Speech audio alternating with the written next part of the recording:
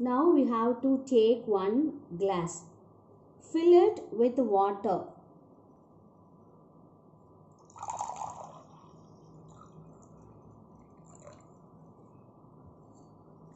And place a pencil in it.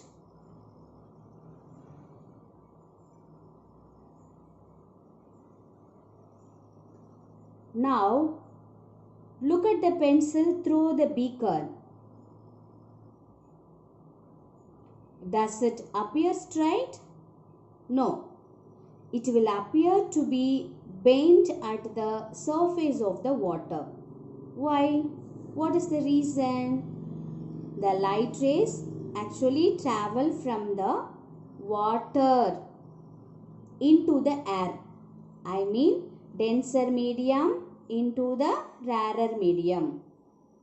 So, when the light ray travels from a denser medium to rarer medium, it is deviated from its straight line. So, actually, uh, this is the normal line, this point. The from the bottom, this is the normal line. So, it is not in a straight line. Okay. So, little it is deviated it is deviated from its straight line path. So the pencil appears to be bent when you see it through the glass of the water.